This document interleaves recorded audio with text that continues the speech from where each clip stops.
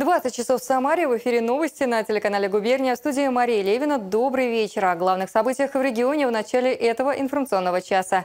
И вот о чем расскажем. Забота о своих. Расскажем, как самарские бойцы, которые вернулись с передовой, проходят реабилитацию в новом отделении госпиталя ветеранов войн. Тот случай, когда стены тоже лечат.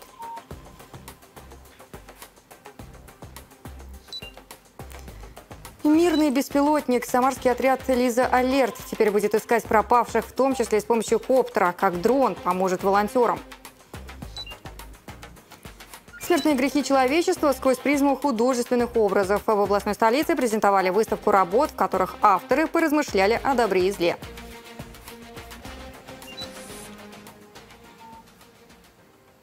Все для защитников Родины. В областном клиническом госпитале ветеранов войн работает новое отделение реабилитации. Оно открылось в прошлом году. Здесь проходят лечение, в том числе участники спецоперации. Ольга Павловская продолжит тему. Здравствуйте. Добрый день. Отдыхайте. Добрый день.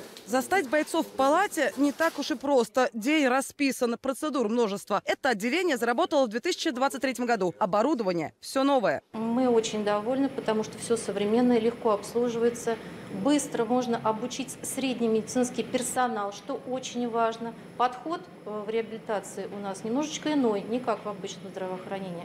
Мультидисциплинарная реабилитационная команда работает. Это невролог, врач ФРМ, врач лечебной физкультуры, врач-физиотерапевт, инструктор-методист. На ремонт помещений и закупку оборудования ушло 8 месяцев. Поручение об открытии отделения для реабилитации и бойцов, и их семей глава региона дал в 2022 году. Отделение не только технологичное, но и, можно сказать, уютное. От эмоций пациентов зависит многое, и здесь персонал старается, чтобы они были только положительные. В отделении 20 койко-мест. Палаты разные. Например, вот в этой военнослужащий проходит лечение вместе со своей женой. Ранее Александра был в санатории Сергиевские минеральные воды в Серноводске. Как там были? В нормальных условиях? Да, тоже условия хорошие, как и здесь тоже отлично все, врачи Ну, хорошие. Там совсем недавно, еще три года назад, все было в совершенном запустении в Серноводске. И очень рад, что мы там навели порядок. Да. Понравилось вам тоже? Да, там Вместе были? Да. Мы там были всей семьей, да. Вот, очень рад. Очень правильно. Улучшение идет, на поправку иду. А по-другому здесь, кажется, и невозможно. Врачи и медсестры заботятся о своих пациентах. Лечился в Санкт-Петербурге три месяца. Потом вот попал на реабилитацию сюда. Нахожусь здесь пятый день. Как бы вот. Спасибо большое персоналу. Вот здесь вот я практически начал, ну, ходить, так скажем, без костылей. Оборудование все самое современное. Его поставляет в том числе и Самарский медуниверситет. Впрочем, на достигнутом останавливаться не будут. По поручению главы региона уже проходит ремонт и в другом отделении. Ожидают поставки и специального аппарата МРТ. О его закупке Дмитрий Азаров договорился в ходе встречи с премьер-министром России Михаилом Мишустиным. В этом отделении пролечились 200 с лишним человек, а через аппаратуру прошло уже 500 с лишним человек из разных отделений. Коллеги, нам по оборудованию не надо останавливаться. То, что мы обязаны сделать для наших героев-защитников э, вот здесь на передовой. Восстановление их здоровья, возвращение к жизни нормальной. Конечно, вам за это огромная благодарность. Ольга Павловская, Андрей Авдеев. Новости губернии. В очередной, уже 30-й по счету рейс Самарская область отправила гуманитарный конвой в зону спецоперации. В сборе помощи бойцам приняли участие общественники, нотариусы, предприятия и сотни неравнодушных жителей. Отправка ценного груза прошла в рамках акции «Своих не бросаем». Подробности в материале Сергея Павлова. Для самарских бойцов снова собрали все самое необходимое. Точка притяжения – окружной дом офицеров, где в рамках акции «Своих не бросаем» формируется уже 30-й по счету гуманитарный конвой. Военнослужащим второй армии помогают всем миром. Общественная и торгово-промышленная палаты Самарской области, региональная федерация профсоюзов, нотариусы, предприятия и неравнодушные жители. Потому что мы знаем, насколько это важно. Потому что вы посмотрите, какая странная погода. А наши ребята сейчас сидят в окопах, и на них, как и на нас, сейчас капает вот эта небесная влага. Укрывной материал. А, Полторы тонны макаронных изделий мы отправляем, потому что вчера вышли на нас ребята, которые сказали, не представляйте нас, только передайте, и мы это сделаем. Вторая армия всегда находится рядом с нами. Важно потому, что там, в зоне СВО, находятся наши земляки. Наши и коллеги принимают участие в боевых действиях, поэтому важно поддержать их. И мы регулярно собираем гуманитарную помощь по тем заявкам, которые они дают, в чем они нуждаются. Груз полностью соответствует заявкам бойцов от Самарского батальона. Это окопные свечи, теплые вещи, средства личной гигиены, продукты питания. Свое тепло дарят защитникам и дети. В коробках самое ценное – открытки и рисунки школьников. Пусть знают, что мы здесь, их за тыл, мы верим в них, ждем их невредимыми, здоровыми, верим в нашу победу. В наших посылках то тепло, которое мы с любовью собирали. И, безусловно, это рисунки и теплые слова наших детишек. Доставкой до места назначения гуманитарного конвоя занимается общественный культурно-социальный фонд «Звезда и Лира». Всего же в рамках акции «Своих не бросаем» из Самарской области собрано и доставлено бойцам уже более 6 тысяч тонн помощи. Сергей Павлов, Константин Макаревич. Новости губернии. Своя особая миссия в дни, когда идет спецоперация у самарских музыкантов. В области продолжается первый патриотический фестиваль бардовской песни «За победу». О чем поют его участники, где выступают и почему называют свое творчество особыми репортажами. Расскажем прямо сейчас. Всем открыта дверь к небесам, но не каждый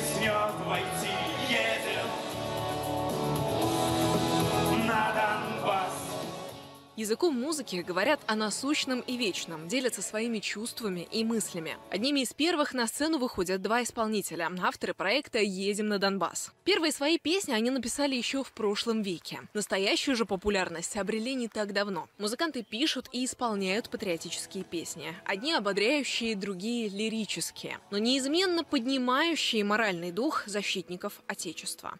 Наши песни, они о любви.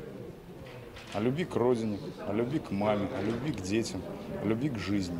Вот это все вместе для нас и значит патриотизм. На уровне поэтическом, на уровне музыкальном мы рассказываем истории, тылу мы рассказываем о фронте, фронту мы рассказываем о тыле в такой вот музыкально-поэтической форме, делаем песни-репортажи, ну, очень э, похожие по своей сути на творчество Владимира Высоцкого, Юрия Висбора, которые были непревзойденными мастерами именно этого жанра.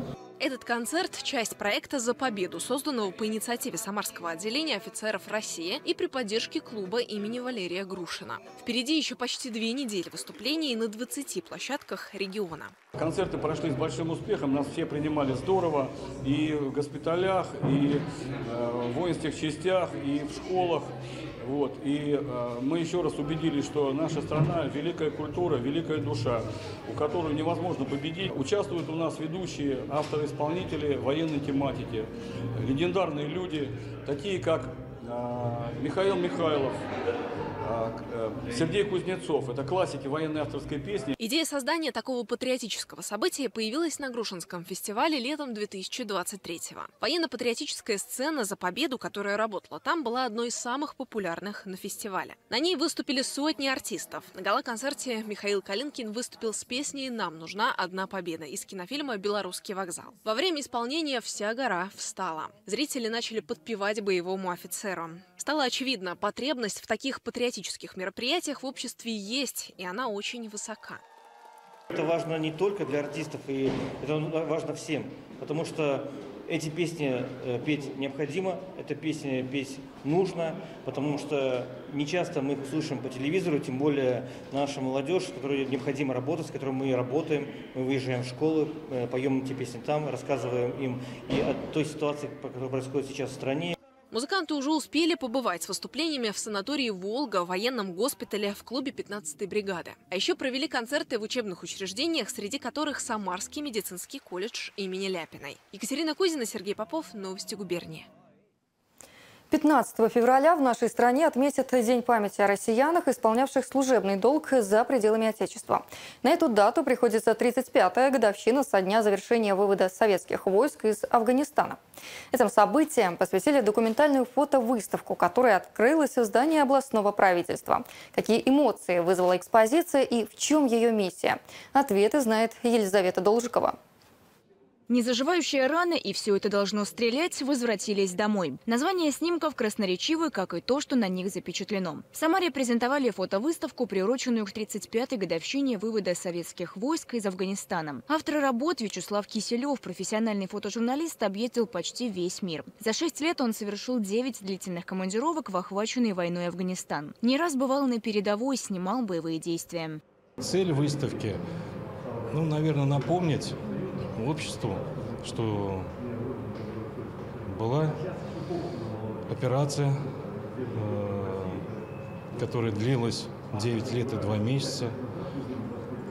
Наши советские солдаты, офицеры выполняли приказ Родине далеко от дома, в тяжелейших условиях, в экстремальных условиях, противостояли зарождающемуся тогда терроризму. Особый трепет экспозиция вызвала у тех, кто непосредственно принимал участие в боевых действиях. Ветераны поделились своими воспоминаниями о тех страшных днях. Они уверены, все было не зря. Если поехать в Афганистан, то долг наш действительно прямо везде. Сразу чувствуется все. Первое. Отношение афганцев к нам. Вот я проехал второй раз.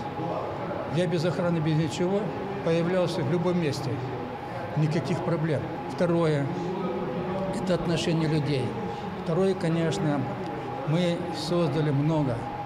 Во-первых, построили школы, открыли институты, обеспечили уже современную молодежь, которая обучалась у нас по всем направлениям, по всем специальностям. Мы подготовили военные кадры. Они закончили у нас от военных училищ до Академии Генерального штаба. Ветераны боевых действий признаются, события 35-летней давности очень перекликаются с тем, что происходит сегодня, когда защитники России вновь стали на защиту Родины. Вы посмотрите на любой праздник, вот будет День Победы, и где придите, маленькие, еще дошкольники уже в военной форме. И вот пока такие есть дошкольники в военной форме, такая страна или такой народ победить нельзя. Пока мы вместе, нас не победить. Победа будет за нами.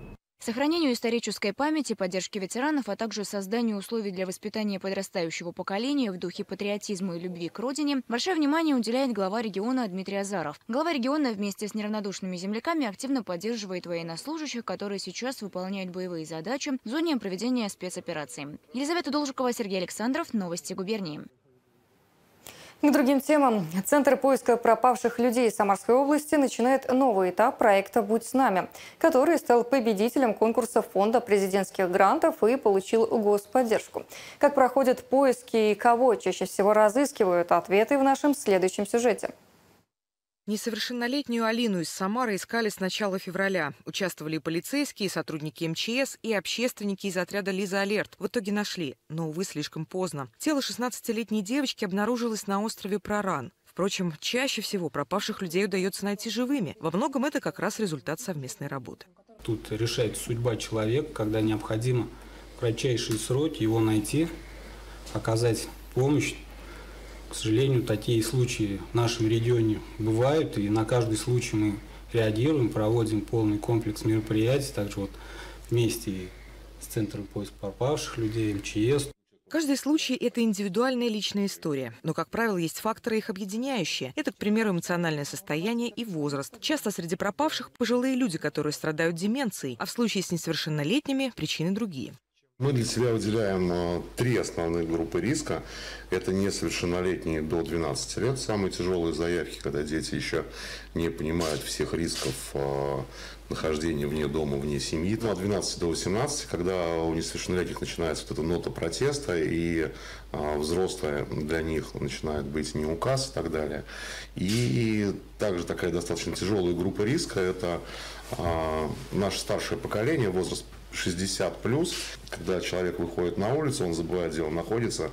Центр по поиску пропавших людей со своим проектом «Будь с нами» выиграл президентский грант. Средства пойдут на приобретение планшетов и оборудования, необходимого для эффективной работы. Оно будет использоваться инструкторами как для обучающих мероприятий, так и для реальных поисков. Например, чтобы успешнее находить людей за городом в ночное время, добровольцев отряда «Лиза Алерт» снабдят беспилотником с инфракрасным датчиком. Сейчас вот можно увидеть, как шесть экипажей патрулируют э, город Самару. Самарская область традиционно является одним из лидеров по количеству проектов победителей и размерам финансирования из средств Фонда президентских грантов. По поручению губернатора Дмитрия Азарова в регионе создали систему сопровождения идей проектов общественных организаций для побед в конкурсах. Благодаря этому с 2017 года НКО Самарской области получили грантовую поддержку из президентского фонда на общую сумму более полутора миллиардов рублей. Юлия Кленова, Мария Левина. Новости губернии. А сейчас о происшествиях. Авария под прицелом регистратора, столкновение с автобусом и задержание наркокурьеров в Отрадном. Обо всем подробнее в обзоре от моего коллеги Николая Гришечкина.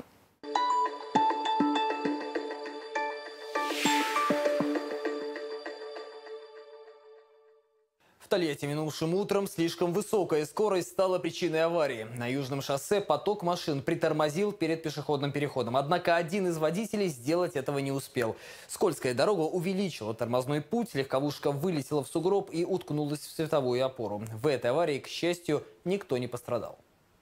А в Самаре в ДТП попал пассажирский автобус. Все произошло в Кировском районе города на Аэропортовском шоссе. Микроавтобус, следующий по маршруту, не разъехался с кроссовером. Среди пассажиров никто не пострадал, однако из-за аварии на дороге образовался внушительный затор. Причины ДТП устанавливают сотрудники полиции.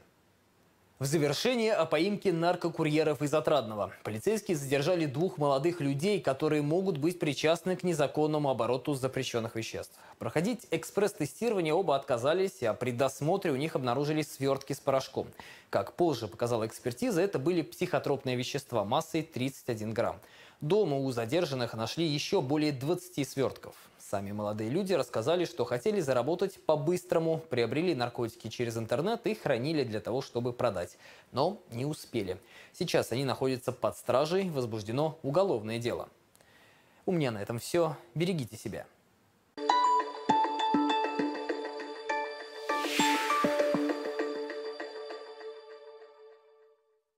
Продолжении темы, по данным ЦИОМ, 41% россиян полагают, что употребление наркотиков – это болезнь, а тем, кто употребляет, нужна медицинская помощь. О том, как идет борьба с этим асоциальным явлением в 63-м регионе, мы поговорим сегодня с заместителем начальника управления по контролю за оборотом наркотиков областного главка, полковником полиции Владиславом Константиновым. Добрый вечер, Владислав Николаевич. Добрый вечер. Ну, расскажите нам, какую работу проводят правоохранительные органы по противодействию незаконному обороту наркотиков в нашей области? Ну, могу сказать то, что с сотрудниками правоохранительных органов на территории э, региона в 2023 году зарегистрировано, э, чем в логичном периоде прошлого года, преступлений больше. Э, около 4 тысяч. Соответственно, по количеству лиц тоже мы задержали больше на 100 лиц больше, чем в, 2000, в аналогичном периоде. Также из незаконного оборота изъято около 300 килограмм различных наркотических средств. А, также нами было выявлено и задокументировано две нарколаборатории на территории Самарской области, которые изготавливали наркотические средства. А, также была документирована преступная деятельность трех преступных сообществ. Э, две из которых этнического происхождения. Соответственно, они распространяли наркотики бесконтактным способом на территории Самарской области. А данные лица были задержаны. В настоящее время уголовные дела направлены в суд для рассмотрения. Э, также нами было задокументировано и ликвидировано 36 э, наркопритонов, которые представляли свои жилые помещения для употребления наркотических средств на территории также Самарской области. Могу сказать то, что вот нами проводится работа по э, документированию сети интернет. Э, у нас создан IT-отдел, которым на постоянной основе проводится работа по выявлению пронаркотических сайтов. В текущем году 152 данных наркотических сайтов было выявлено. Все данные сайты были направлены в Роскомнадзор для их блокировки, которые были незамедлительно заблокированы. Вот как вы считаете, увеличение случаев как-то вот связано в том числе и с интернетом, то, что вот эта пропаганда проходит в сети и доступна там, в том числе для молодых там людей? Ну, в любом случае мы проводим мероприятия, нам направлены на э, выявление данных сайтов и до дальнейшего их блокировки. Ну вот вербовка, если говорить о вербовке в наркокурьеры, да, вот как она проходит, вот много ли таких случаев? Ну, касаемо вербовки, конечно, безусловно, у нас э, зло это интернет.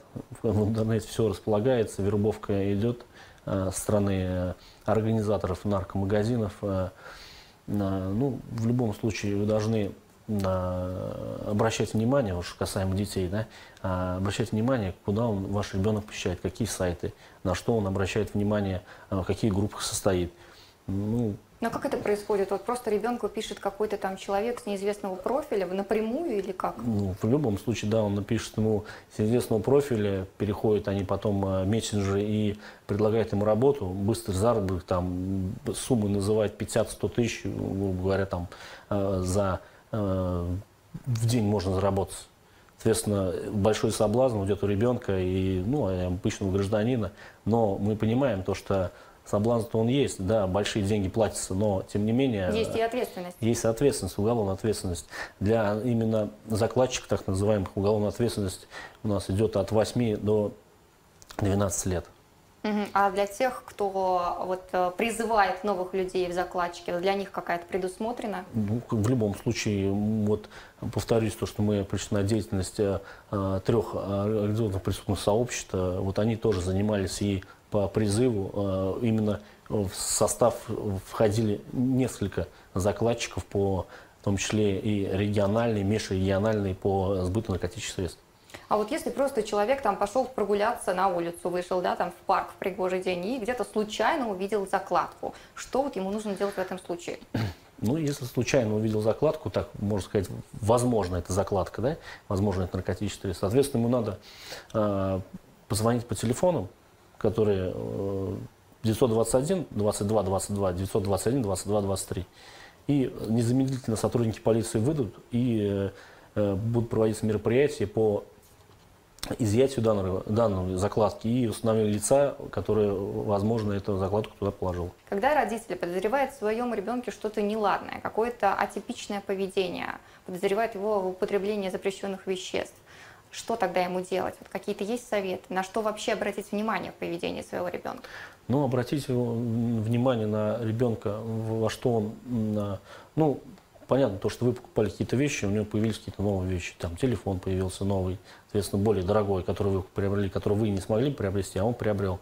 А, также посмотрите у него телефон, посмотрите у него мессенджеры все, на какие сайты он, куда он заходит, посмотреть также на его состояние, мимику, движение, ну, соответственно, как он заторможенный, либо быстро говорит, быстро, ну, что-то делает. А, возможно, он, возможно, а, употребляет наркотические средства. Соответственно, вы можете обратиться к врачу-наркологу по месту жительства. Соответственно, любой э, гражданин, обратившийся за помощью, не будет привлечен к административной ответственности. Это можно как анонимно обратиться. Также вы можете обратиться нам в полицию соответственно, для установления лица, а, возможно, если он употребляет, и установления лица, кто ему сбывает наркотические средства. По вашему опыту, да, вы все-таки не первый год в этом деле, насколько меняется вот эта отрасль Самарской области, и все-таки можем ли мы надеяться, что в ближайшее время будет сокращение этих цифр?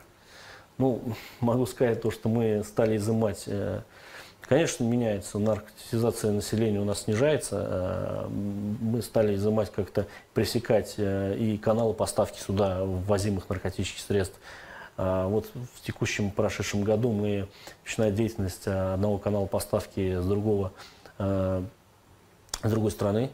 Вот, соответственно, больше стали именно пресекать деятельности нарколабораторий и поступление каналов поставки для того, чтобы Э, меньше поступало вот этих вот э, наркотиков на территории региона и вообще на территории страны. Надежда есть. Есть, конечно. Это все зависит от, э, от граждан, от бдительности, от самих граждан, именно от детей. Больше пускай занимаются спортом, ведут активный образ жизни. Ну, не надо, не надо вот этого общения сторонние, там, в интернете что-нибудь интересоваться. Лучше обойти проводить... это стороной. Обойти это стороной. Спасибо. Напомню, мы говорили с заместителем начальника управления по контролю за оборотом наркотиков ГУ МВД России по Самарской области Владиславом Константиновым. Ну а мы продолжаем выпуск.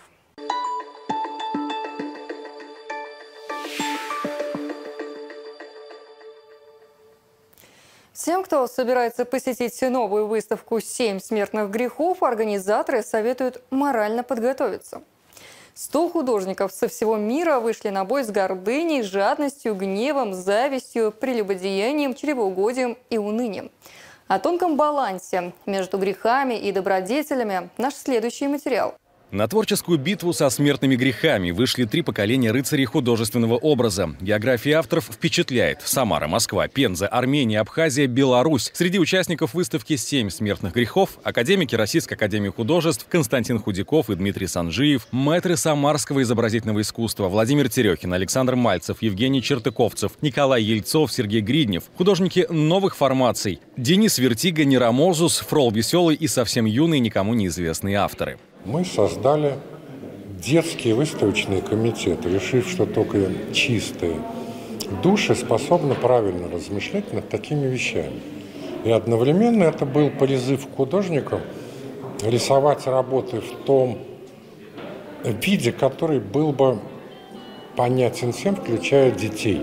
В экспозиции и скульптура, и роспись по шелку, и куклы, и даже ювелирные украшения. Здесь и батики Алисы Самаринкиной, инсталляции Игоря Гузеева, Елены Ковалениной и Василия Нечепорука, фотоработы Аллы Кучерявой и Николая Муханова, одежды Юлии Гладуновой. Если это зависть, какое-то плодовое растение, они друг на друга смотрят и как будто завидуют. Например, если это обжорство, то это, ну, типа коробочки, которые лопаются от того, что они как будто бы объелись. Вот, и если посмотреть э, кимоно, то каждому смертному греху у меня тут соответствует какое-то растение. Тяжелому кимоно «Семь грехов» дизайнер противопоставила воздушные с семью добродетелями. Посетители могут примерить выставочные экспонаты и сравнить ощущения. Владимир Терехин создал огромное полотно «Мистерия 21 века». 5,5 на 3,5 метра содержит тысячи узнаваемых лиц и даже фото родителей художника. Что бы могло произойти, если бы, допустим, вот Иисус Христос приехал в Самар? Как бы это все было? Вот и это меня подтолкнуло к тем ну, здесь все известные люди, все там. Вот, кто-то, допустим, не находится, я спрашиваю, а где я? Ну, а я говорю, там вот, где вот маски тут еще не сняли, там вы в маске просто, тут же в масках. 100 художников и 6 сотен творений. Масштаб экспозиции «Семь смертных грехов» позволил заполнить не только новые, но и открытые пространства в стенах Самарской областной научной библиотеки. Удалось ли авторам уравновесить грехи и добродетели, организаторы планируют узнать через обратную связь со зрителем через месяц по окончании выставки. Сергей Сергеев, Марина Баркова, Сергей Костин. Новости губернии.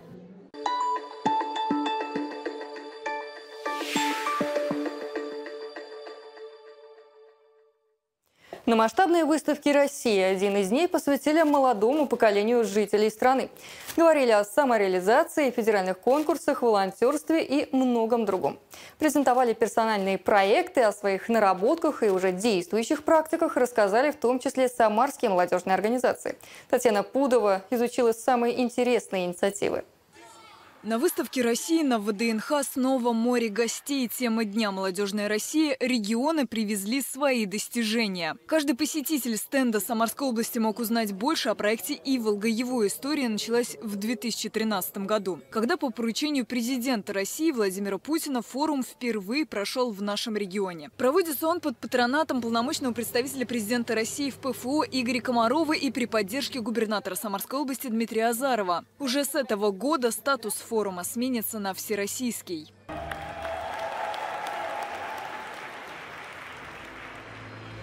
Организаторами профильного дня «Молодежная Россия» выступило Федеральное агентство по делам молодежи совместно с региональными органами власти, курирующими молодежную политику в субъектах страны. День начался с шоу-презентации ключевых достижений молодежного сообщества в различных областях – от науки, волонтерства и карьеры до искусства, молодежного туризма и предпринимательства. Презентацию открыла заместитель председателя федерального правительства Татьяна Голикова. Она отметила, что по поручению главы государства в России в скором времени будет принята стратегия развития молодежной политики до 2030 года. При ее разработке учитывались предложения и пожелания юношей и девушек со всей страны. Еще одно ожидаемое событие – Всемирный фестиваль молодежи, который пройдет в Сочи в марте.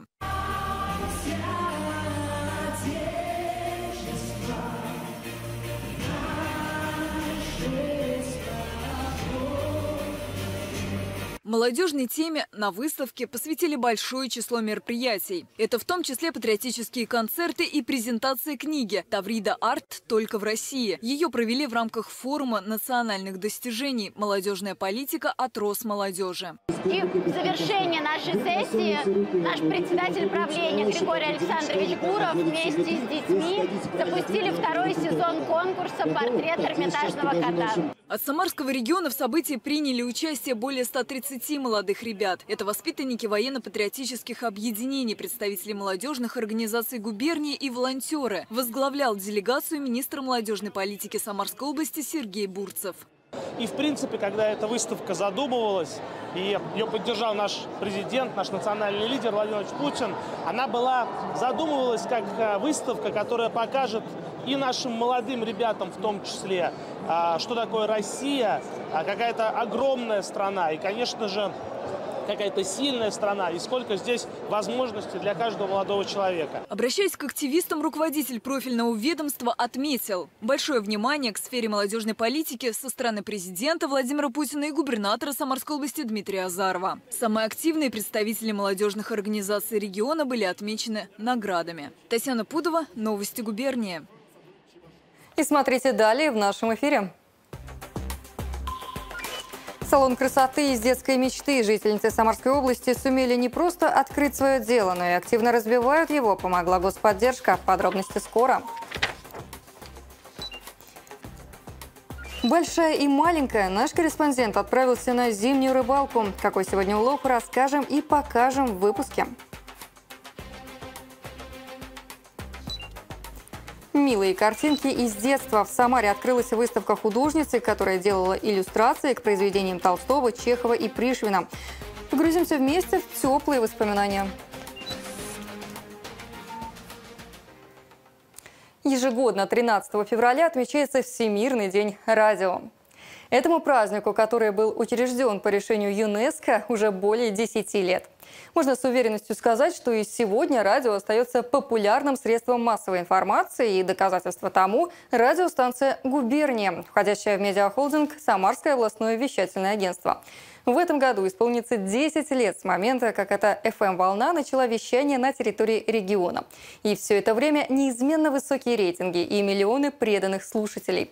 Зона покрытия – весь регион, включая самые отдаленные уголки губернии. Конечно, все это благодаря слаженной работе команды профессионалов – программы, которые выходят на нашей радиостанции, периодически попадают в шорт-лист престижных радийных конкурсах, а ведущие этих программ становятся победителями этих конкурсов.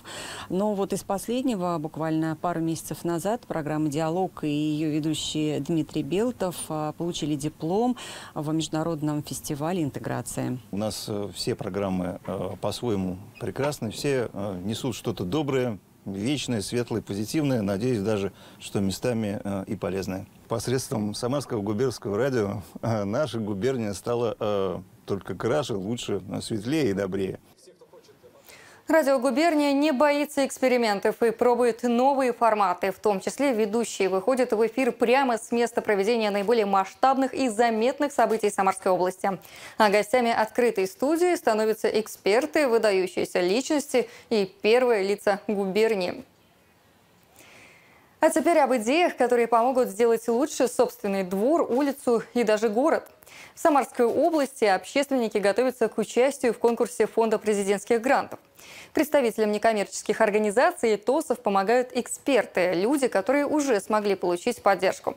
Они проводят обучение, обучающие семинары. Мои коллеги узнали, какие проекты представят на конкурсе.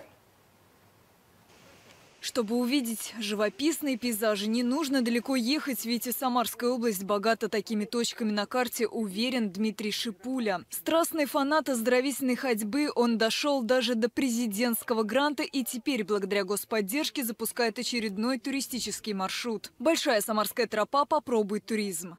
Будут разработаны гиды, а, аудиогиды, то есть можно будет скачать приложение и включить себе наушнички, там она будет вести прямо по месту, когда подходишь к какой-то интересной точке, будет говорить, что здесь интересного. Мы считаем, что ходьба по родным просторам – это лучшая форма воспитания патриотизма.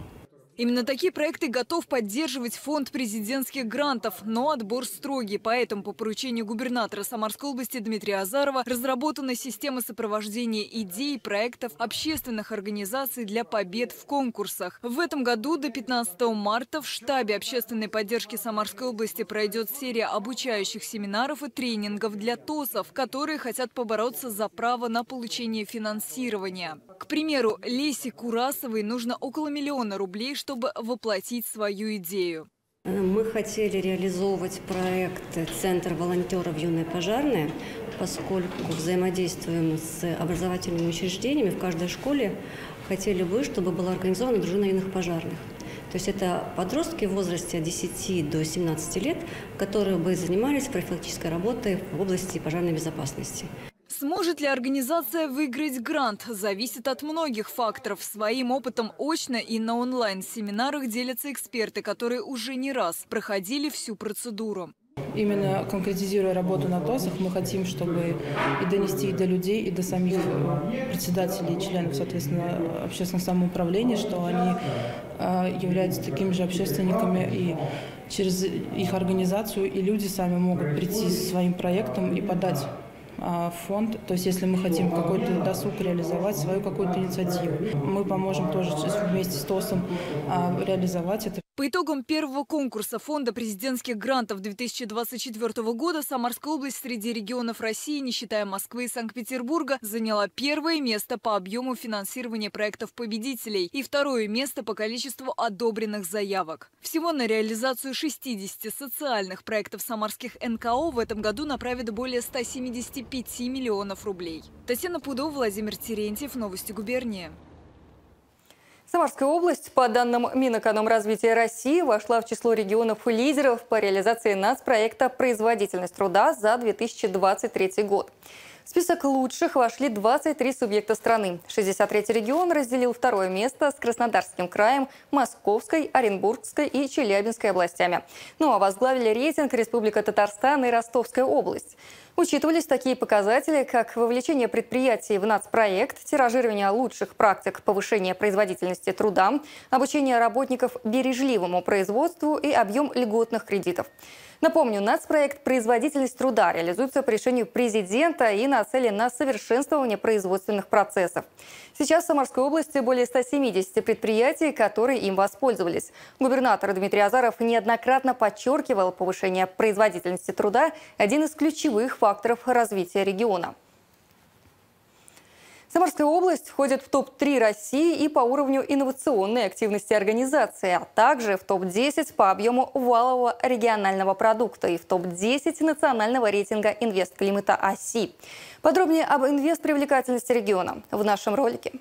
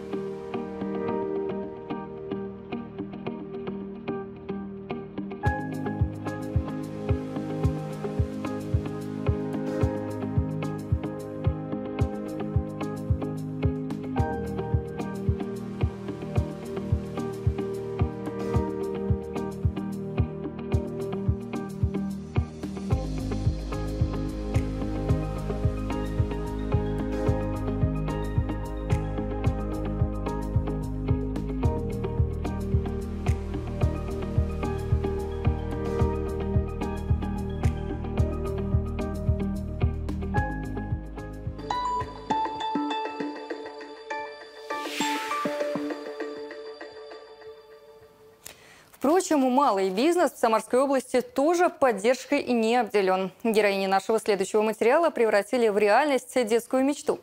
Конечно, одного желания мало. Девушки упорно шли к своей цели не один год. И вот открыли собственный салон красоты. Развить дело им помогла господдержка. О красивом бизнесе расскажет Елизавета Должикова. Анастасия и Елизавета Шкаденко ведут маникюрный бизнес в селе Большая Черниговка. Об открытии своего дела сестры грезили еще со школы, а потом планомерно шли к исполнению своей мечты. Поступили в колледж, прошли обучение по самым разным направлениям индустрии красоты. Упора решили сделать на маникюр. Девушки вернулись в родное село, купили помещение, сделали ремонт и начали принимать клиенток. Мы поняли, что здесь нет такого, чтобы нет сервиса конкретного, чтобы прийти, расслабиться, а, там, я не знаю, отдохнуть, получить услугу. За счет этого мы и решили здесь развивать все-таки именно в Черниговке, так скажем, в своем селе, потому что и нам и так здесь нравится жить, и нравилось всегда. А за счет того, что еще и мы можем что-то здесь сделать лучше, чтобы и людям было лучше, и, соответственно, у нас был свой э, доход. Хотелось бы в первую очередь развивать именно вот в своем селе свое дело. Вот почему-то вот такая вот именно была всегда мотивация внутри, развить именно свое дело в селе. А, соответственно, дальше, если дальше, больше и здесь, и в Самаре, везде. Сестры Шкаденко быстро набрали клиентскую базу, поэтому встал вопрос о расширении. Осуществить задуманное в короткие сроки удалось с помощью социального контракта. В рамках этой меры поддержки государство предоставляет людям средства на реализацию их идей. Единовременно можно получить до 350 тысяч рублей. Нам посоветовали э, заключить социальный контракт, поскольку мы подходили по всем условиям, и нам это очень бы помогло в развитии, как, собственно, и произошло. Мы обратились э, в социальный центр комплексного обслуживания населения, собрали все документы. Это произошло все очень быстро, буквально за месяц, за два. У нас уже были на руках все средства, которые были нам необходимы для дальнейшего развития нашего дела. С помощью социального контракта можно не только открыть свое дело, но и улучшить материальное положение, развить личное подсобное хозяйство, хозяйства, пройти обучение и, как следствие, повысить уровень и качество жизни. В 2023 году было заключено почти 7 тысяч соцконтрактов. Елизавета Должикова, Новости губернии. Герои нашего следующего сюжета о красе ногтей заботятся в последнюю очередь. Их страсть – хороший клев. Рыбаки Самарской области, невзирая на погоду, отправляются к водоемам, чтобы выяснить, кто самый уловистый. Любительские соревнования по ловле хищной рыбы впервые в истории прошли на новом месте. Приманивала большую и маленькую Марина Баркова. Впервые зимние соревнования на реке с течением. А, сегодня приехали рыбаки со всей Самарской губернии. Вижу, есть женщины на льду и даже мальчик 11 лет. Говорят, что с утра были поклевки. А, ловится здесь голавль сегодня и окунь. Но рыбаки не очень довольны, говорят, что у рыбы давление.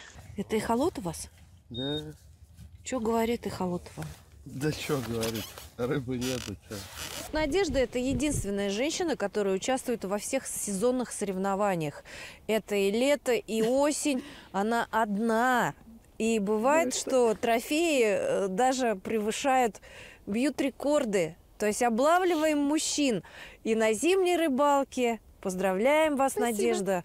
Вы впервые. Ни хвоста, ни чешуи. Все. А сына вы давно берете с собой? Вот ребенок, 11 лет. Ну давно. Ну как? Ну не знаю, ну лет с 7-то точно. И зимой вы не переживаете, что он там замерзнет? Ну, мы вообще с Якутии. Здесь нам очень тепло в любую зиму. Мы находимся в поселке Кускинецком, делаем на, на этом водоеме впервые, то есть зимнюю рыбалку на льду на течении, на блесной балансир. Рыба клюет не очень, по той причине, что слом погоды идет, то и дело, то мороз, то тепло. Возможно, из-за этого колебания. Вот смотрели в эхолоте, рыба под ним поднимается, даже поднимается судак, вот сегодня с одним наблюдал. Откуда он поднимается? От дна, за приманкой поднимается, но она, он, он его не берет. Не хочет. Не хочет кушать, да. Неактивная.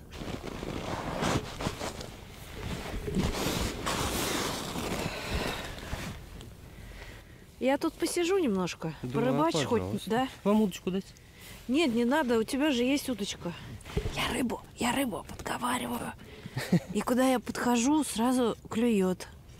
Я потому что знаю, как договариваться надо с рыбой. А весь рыбка большая, маленькая. А весь рыбка большая, маленькая. Сколько куней находил сегодня? 40 с чем-то. Нормально. Со счета. Такой великий счет. Давайте похлопаем. Самый большой улов, первое место, это 2 килограмма 140 граммов Степан Драчук. Второе место, это Кащенко Максим, э, кило 900. И третье место у нас э, кило 540. Пахомов. Самая большая рыба, голавль выловленный сегодня на 720 граммов. Вообще стоял на судака, а поймал головля. И в какое время он клюнул? Ну, прям в конце соревнований уже. А, в самом конце. Ясно. А до головля были поклевки или каких-то Ну, трофеев? пару поклевочек было. И больше всего. Само собой получилось, если честно. Не было никакой тактики. Просто ходил, искал, бурил. А кто тебя к зимней рыб- рыбалке приобщил? Дедушка. С дедушкой начали ездить. Вот мне лет 9-10 было, уже ездил. Марина Баркова, Алексей Гриднев. Новости губернии. При этом спасатели напоминают, выход на замерзшие водоемы небезопасен, особенно в дни температурных перепадов. Например, сегодня днем в регионе было существенное потепление после сильных морозов. При выходе на лед помните, что его прочность можно определить визуально. Самый надежный лед голубого цвета, а у белого же прочность вдвое меньше. Опаснее всего выходить на лед серого, матового белого или желтоватого оттенка. Также покрытие непрочное в устьях рек, местах быстрого течения, бьющих ключей и стоковых вод. Сохранять осторожность рекомендуется и в местах скопления водорослей, вблизи деревьев, кустов и камыша. Лед и в городе может быть опасен, особенно когда речь идет о крышах. Убирать снег и налить с кровли должны управляющие компании. Впрочем, справляются с этой задачей не все и не всегда. В таких случаях на помощь приходят соцсети и Центр управления регионом Самарской области.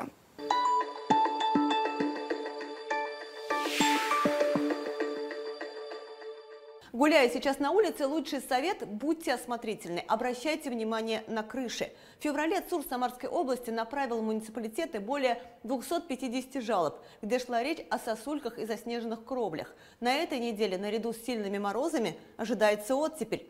Жители Самары стали свидетелями схода снега с крыши на улице Галактионовская, 193. Это обращение ЦУР передал в администрацию Ленинского района. Крышу расчистили. Стоит отметить, что больше половины скатных крыш находятся именно в исторической части города, в Самарском и Ленинском районах.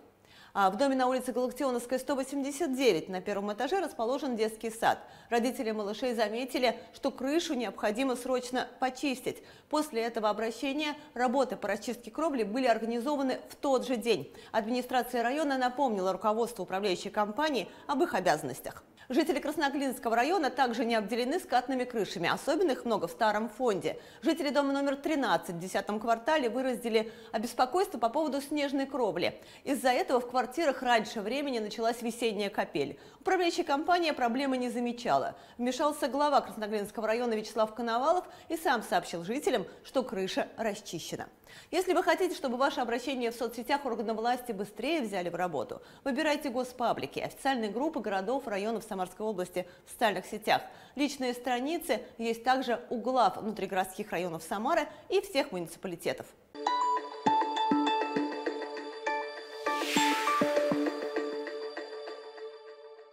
К другим темам. В Самарской области обеспечен широкий функционал и качественное лечение.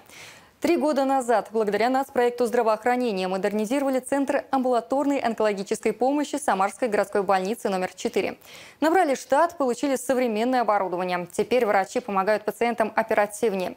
За это время они выявили более 1300 случаев злокачественных новообразований, из них 75% на начальных стадиях. Работу центра проверила председатель комитета Самарской губернской думы по здравоохранению, демографию и социальной политике Марина Седухина.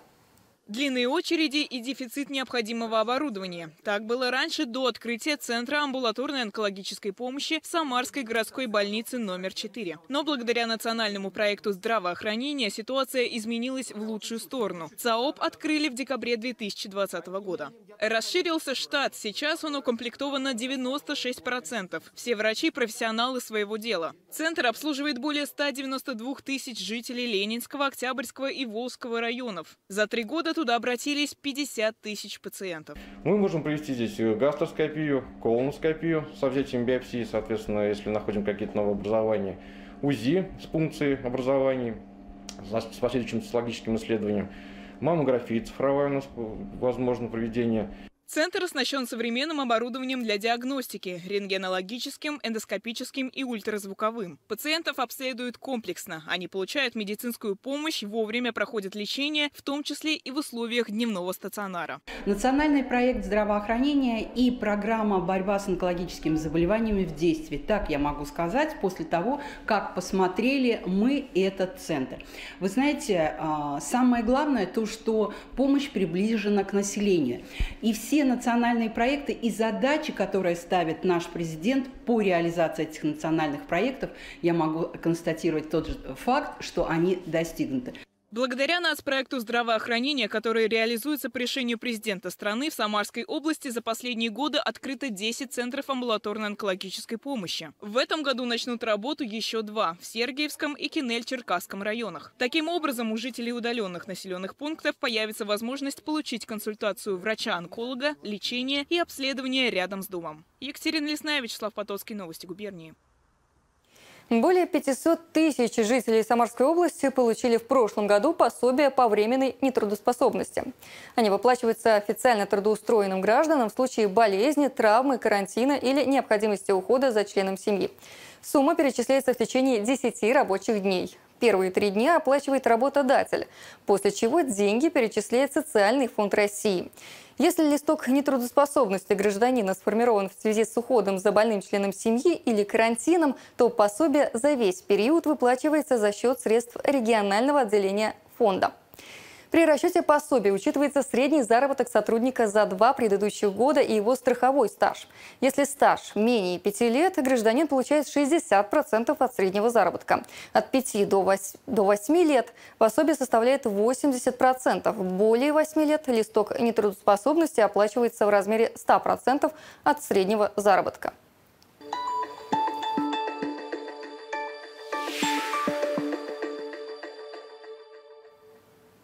А сейчас о кадровом назначении в региональном правительстве. Министром спорта Самарской области стала Лидия Рогожинская. Ранее она занимала эту должность с приставкой в Рио.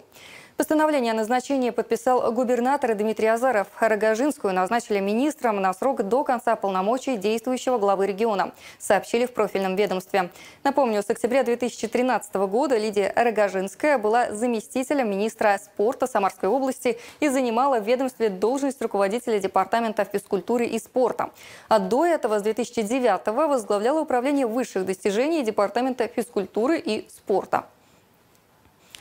Спортивная сфера в Самарской области активно развивается. Возводятся физкультурно-оздоровительные комплексы, появляются универсальные спортплощадки и растет число жителей региона, которые выбирают здоровый образ жизни. Подробнее об этом в цифрах и фактах в нашем ролике.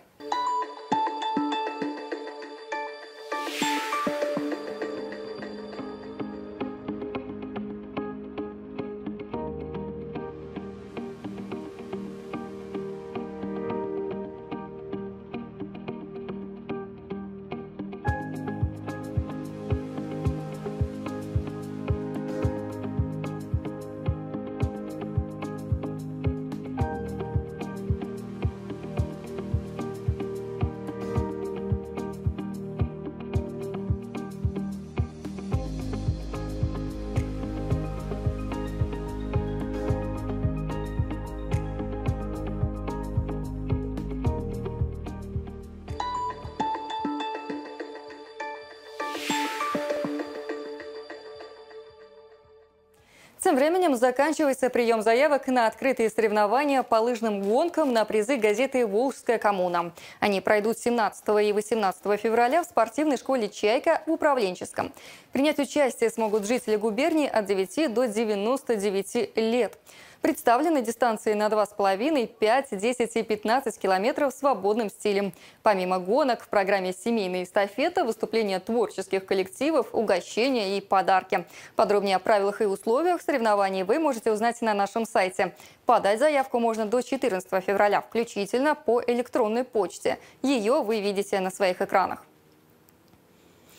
Областные соревнования по биатлону состоялись на севере региона. Камышла – настоящая кузница кадров для профессионального биатлона. Там работает Центр подготовки «Беркут», открытый по инициативе и на средства самих жителей. Как только выпадает снег, местные спортсмены встают на лыжи и берутся за ружье. Готовятся ко всероссийским соревнованиям и участвуют в областных. А быстрых и метких наш сюжет.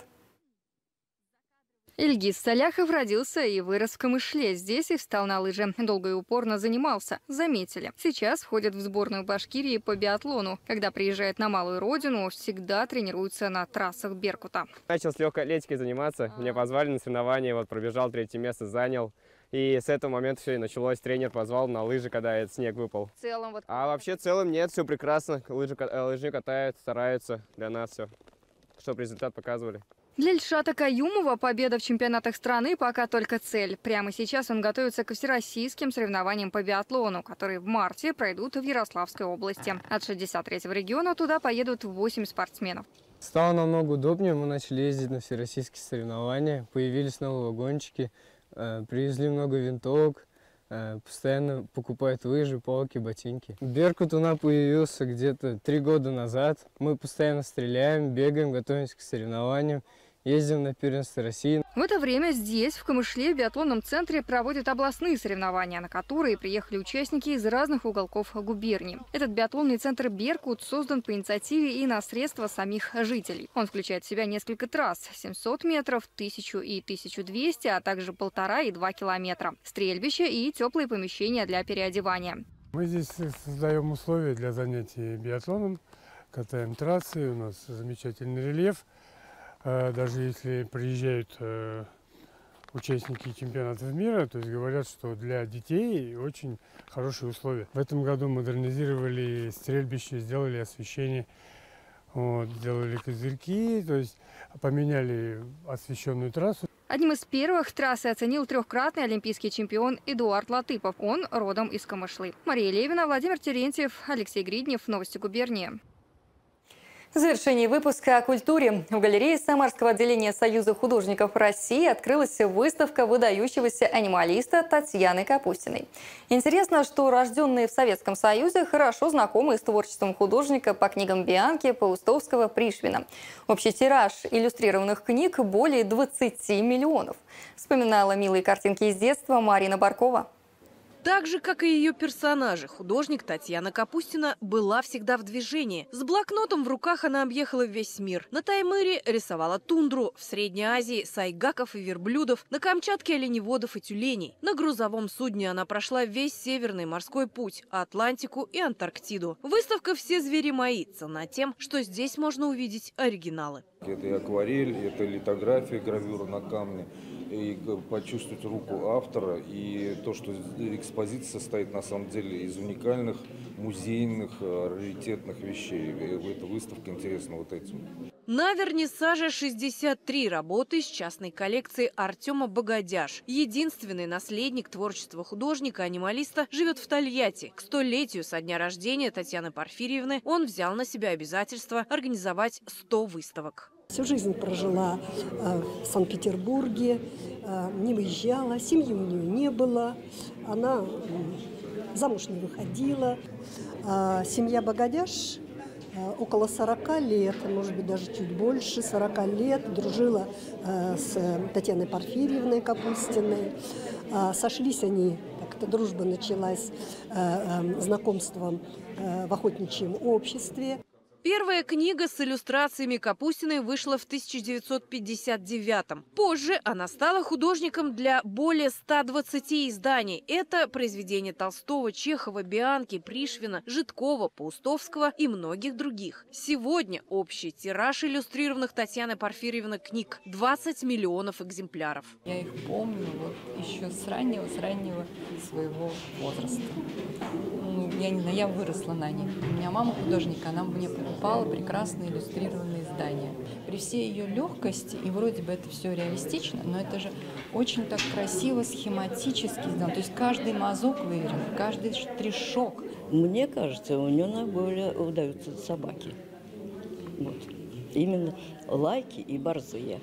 Вот. И чувствуется, вот еще что момент, любовь ее не только вот, к собакам, но любовь даже к волкам, вот которых, видите, это жанровая картина. Э, Собаки побеждают волка, но тем не менее у нее все равно какое-то теплое чувство. Вот к этой охоте есть охота.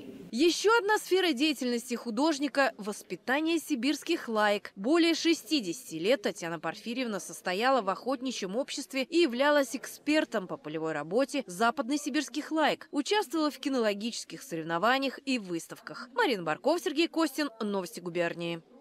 На этом у меня все. Прямо сейчас прогноз погоды, а сразу после эфир канала «Губерния» продолжит сериал «Волчье солнце». Всего вам доброго!